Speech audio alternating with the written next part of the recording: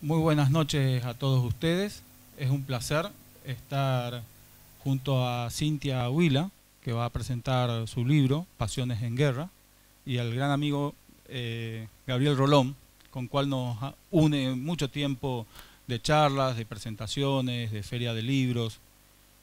Y en esta noche quiero saludarlos eh, con una gran satisfacción porque la empresa que fundé hace un tiempo atrás hoy cumple 25 años.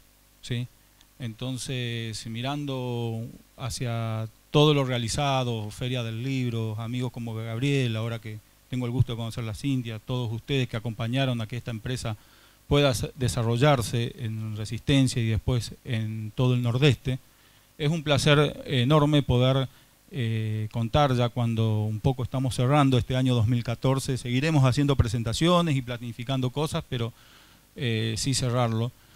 Y también un honor, ¿no? Que en esta reflexión de, 25 años que unen tantas anécdotas, tantos lectores que uno conoció, escritores, eh, libros que uno a veces los recuerda, confunde los autores, si lo escribió uno, lo escribió el otro y bueno, que para mí es un gusto muy grande y sobre todo abordar esta temática de, las pasiones, ¿sí? porque cuando eh, estamos acá entre lectores y gente crítica que busca el libro, que busca la diversidad, eh, acá muy cerquita, que antes tal vez era más lejos, pero sí entre 10.000 y 15.000 kilómetros, estamos en pasiones eh, fuertes a punto de que tal vez con mi cultura de izquierda, marxista, no tenga que reivindicar al actual Papa, pero lo tengo que reivindicar en, sus preocupaciones, en la Tercera Guerra Mundial que denunció que estamos viviendo, ¿no?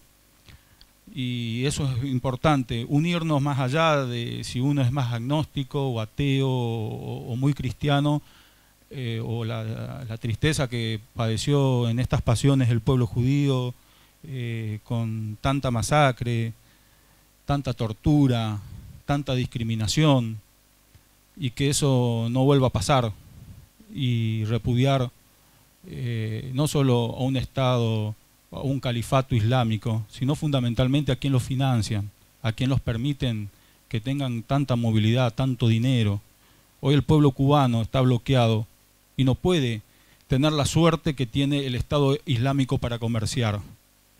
Entonces esa unión, digamos, donde las libertades no existen, donde las mujeres son maltratadas, son castigadas, estar en resistencia en 25 años Librería La Paz, que dio apertura, dio diversidad, tantas opiniones diferentes, es un honor festejar estos 25 años con la diversidad y justamente con estas pasiones. Así que muchas gracias.